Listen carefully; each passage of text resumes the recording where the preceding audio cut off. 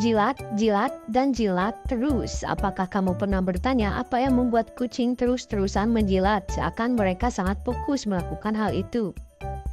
Dan jika kita perhatikan, mereka melakukannya sangat lama. Mari kita bahas sedikit tentang perilaku kucing yang selalu menjilat. Kucing adalah hewan yang sangat bersih dan menjaga kebersihan tubuh mereka dengan rajin. Saat mereka menjilat, mereka sebenarnya sedang membersihkan bulu mereka dari kotoran, debu, dan sisa-sisa makanan yang mungkin tersangkut di bulu.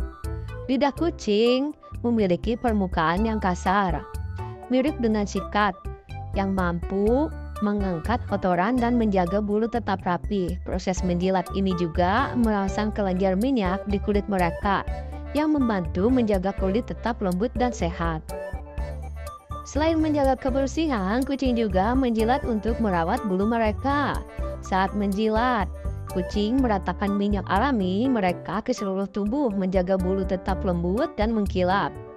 Minyak itu disebut sebum. Sebum adalah minyak yang diproduksi oleh kelenjar minyak di kulit kucing.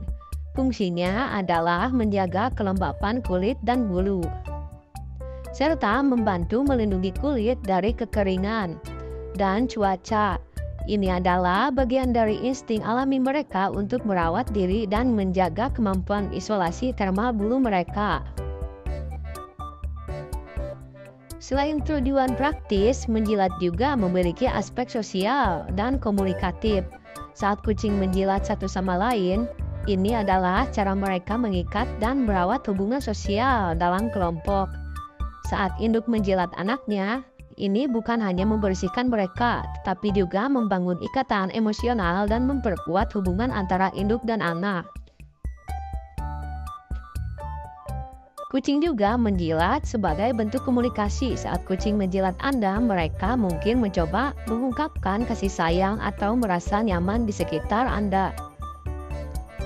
Mereka juga bisa saja mencoba mencium bau atau rasa dari lingkungan atau benda yang anda bawa, karena kucing memiliki indera penciuman yang peka.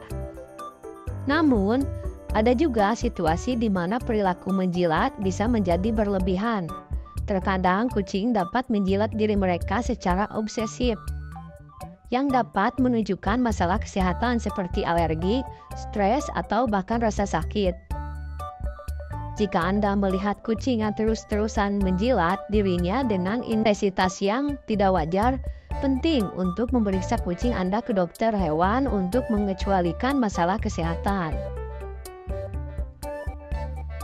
Jadi, menjilat adalah perilaku alami dan kompleks pada kucing yang melibatkan sebagai aspek seperti kebersihan, perawatan diri, komunikasi sosial, dan ekspresi emosional.